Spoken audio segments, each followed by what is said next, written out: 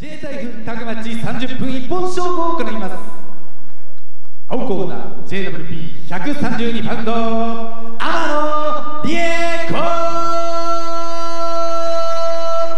140パウンド。宮口智子。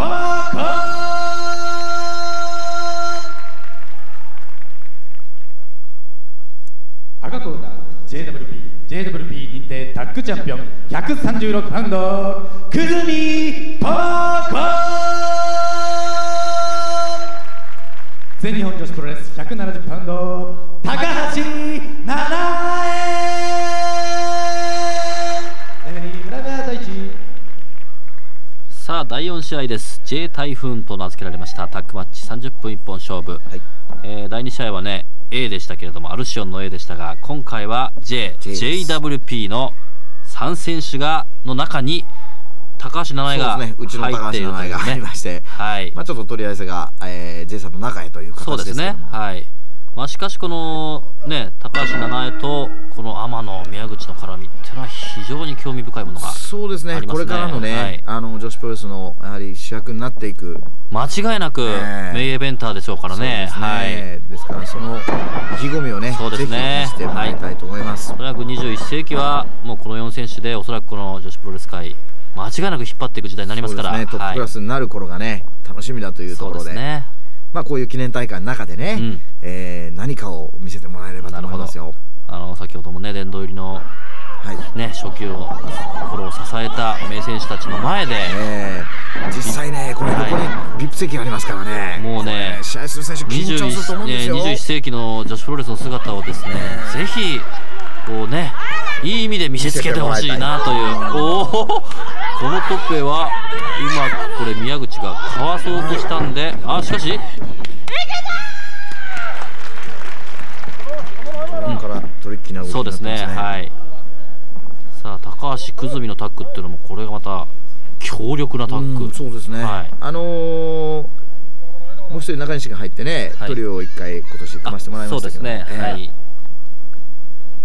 さあ天野も相変わらず、まあ、体はないんですけれどもとにかく鋭い動きとそいううですね。やっぱキレがありますよね。キレのある動きが本当に最近はなんて言うんでしょうかね技術もどんどん良くなって、もう動きが本当に際立ってきましたねそういうの名前はもうパワーです。はい。もうかく大きいです。えリストを組んだままホイップしました。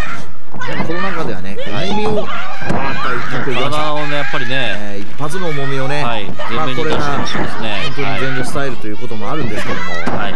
こういうものをね見せてもらえたらそうですね。まあ、それにしてもね、女子プロレス、どうでしょう、このところ、どうしても小型化のね、各団体ともそうなんですけれども、小型化の、ね入門してくる選手がねね、要素がね、あったんですけれども、久しぶりのでっかいやつっていうのまあはね、そうですね。名前なんかはまあ僕なんかいつも空飛ぶ冷蔵庫って呼んでるんですけなるほど、なるほど。この体はリフリジェレーターですね、はい。久々にレスラーらしいというね。そうですよね。えさあこの JWP のタッグ。宮口天野が久住を捉えていくさあ久住と宮口この2人も数々のえ勝負を繰り広げてきた、まあ、ライバルと言っていいでしょう。さあ強音とニュートラルからうまい。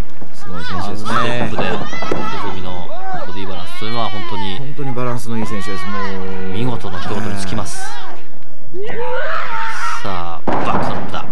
まあ久住もね一時なんかあの JWP でもい。ろいろありましたけれども、そうなんですよ。このところは落ち着いてきましたが、えーはい。ねもう完全にエース候補ですからね。いや本当にどうでしょう、ー。もう21世紀え久住あたりが主役えで回ってくるのかなという、言ってもらわないとってことはあるんじゃないですかね、まあ、あの前女の今井さんにこういうこと言うのもなんですけれども。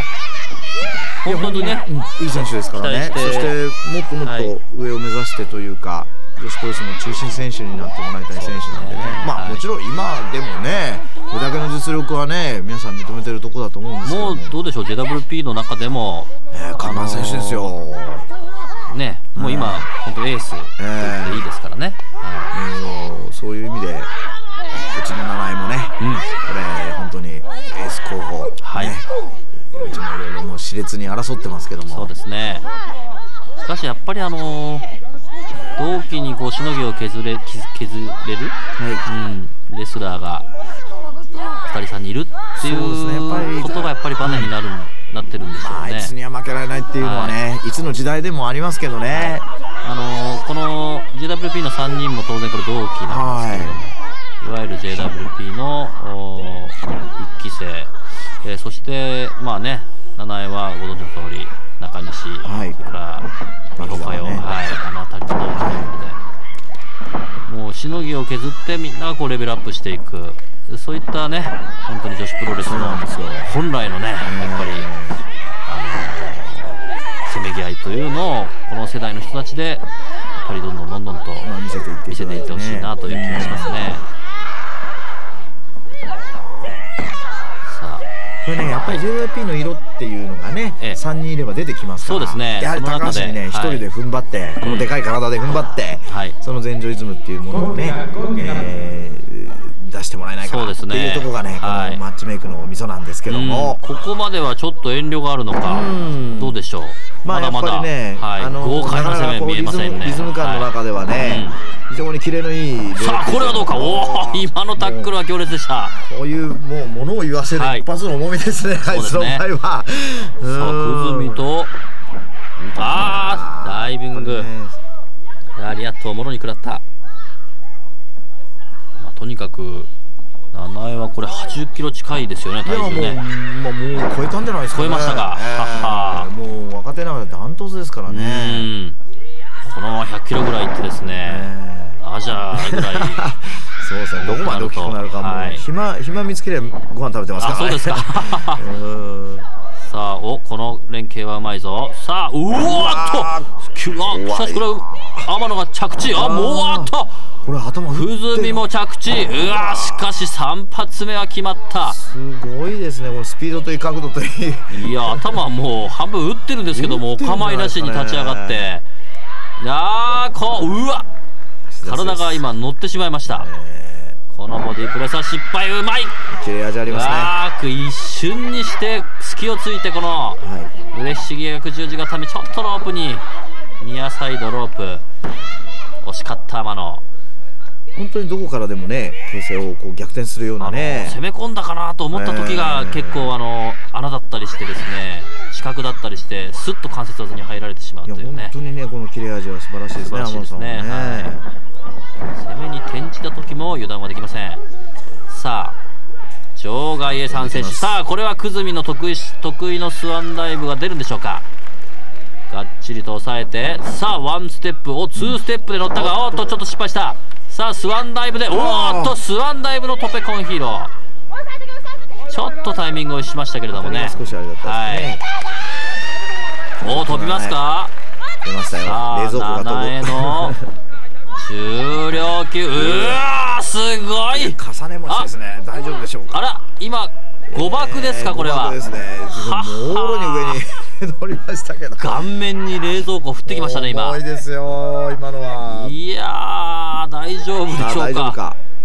久住がちょっと苦しそうな表情でしたがまあしかしまだまだますね。うんここは一気に勝機と見たんでしょうかね、はい。さあ天野宮口がうわーっと3連発ミサイルキック。さあそのままホール。これはどうか。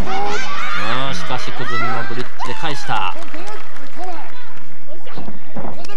さあ今度は宮口。まだダメージ残ってますね小泉さんね。おっとこれは得意のエアープレーンスピンからのブロックバスター行くんですかね。お速い。早いですね。ごい速いですね。うわー。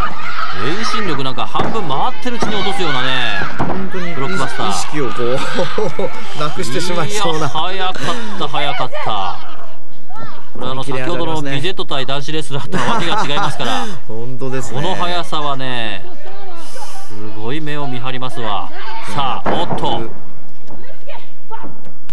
ニュートラル。うわ今ですかボディにボディーブロー。さあうわっとスピンしてエンズリへ。キックをぶち込んでいく。うわ危ない。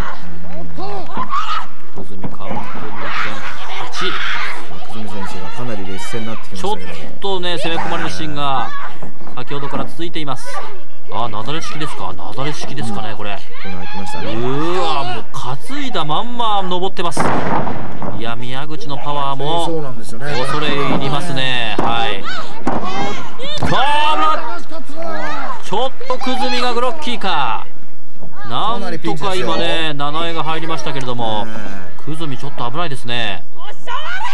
かなり畳みかけられてますが。さあ天野があー飛びつきの腕ひしぎ逆十字を狙ったんですがうわ一回転してエルボー。三沢張りのエルボーを打ってきました。さあ飛びついてあーっとあーこれを天野そのまんまジャーマンで投げ捨てる。いいフォローでしたね今のそうですね。はい。さあ七重が今度はボディプレスからボディスラムからボディプレスでしょう。うーわーこれはかわされしたまいましたね。天野もこの辺りはでしょう？ちょっと研究してますかね。そうですね、はい。まあ動き的にはねちょっと読まれた感がありました。まあ、パワーは警戒しないとそうですね。一発技効くんですよ、うん。あーやはりこういった選手には有効でしょう。腕ひしぎうん。しかし、10分まあ、七重の場合か体大きい分ですね。ねよっぽどセンターで決めないと腕ひしぎとか決まりにくい部分もあります。そうですね関節技っていまあ、意外とね体の柔らかいところもあるんですよ。なるほど、えーそこも含めてね。さあアームブリーカーで左腕を攻めたんですがあとこれは藤足を狙ったんですが崩れた。さあ小手一発から腕ひしぎこういう入り方は前場ではないんですよね。なるほど。戸惑いますよね、ちょっとあしかしこれうまく体勢入れ替えていやおーっと猪木張りだおおすごい。い。やーこれは21世紀のボブバックランドですいやね本当に。こんなことできるのもね本当7位ぐらいじゃないですかね女子レスではね。まあアジャーがたまに昔よくやったことがあったかとは思うんですが、この高橋さんの色が出ましたね。いやさすがちょっと場内どよめきましたあとこのダブルインパクト式はちょっと崩れた。逆に今度は天野と。この辺りはやはり連携は JWP タックの方が慣れています。何ですか？何ですか？うわ肩車からがっちり入ったがっちり入った腕ひしい。よこれもうちょっとなんあかフォロー来ましたね。はは肩が外れたんじゃないかっていうぐらいがっちり入っちゃいましたよいや角度かーらね落とされながら決めてますから。ね落とした瞬間にぐにゃっていくでしょう。え。うわ危なかった。ちょっとしかし七重がピンチだ。うわ飛距離も十分のボディープレス。これはどうか危ない。いやーちょっと攻め込まれています。かなりダメージ残りますね。さあもう一回宮口飛ぶんでしょうか。ニュートラルコーナーから。